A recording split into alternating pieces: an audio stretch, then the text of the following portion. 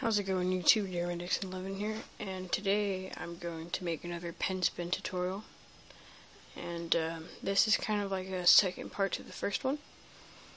Um, I'm going to try to keep this video as short as possible while explaining as most as I can. Let's get started.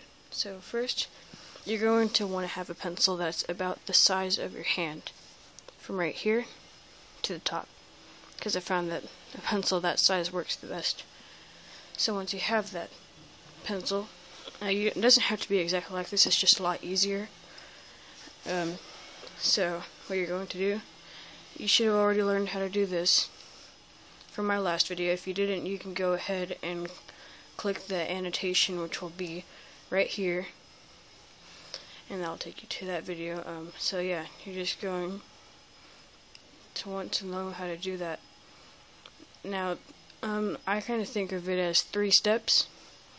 Here's the first step, doing that. And the second step is catching it with your other finger. And then the third step is letting go with this finger and dropping it with that one.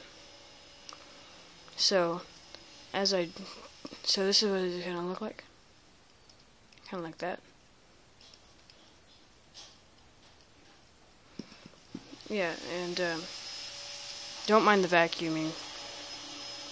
So, yeah, um, watch, see it?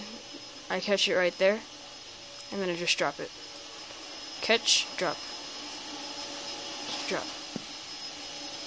And it's, uh, at first it's gonna look kind of weird. It's gonna kind of look like you're gonna really need to take your finger down to get that motion.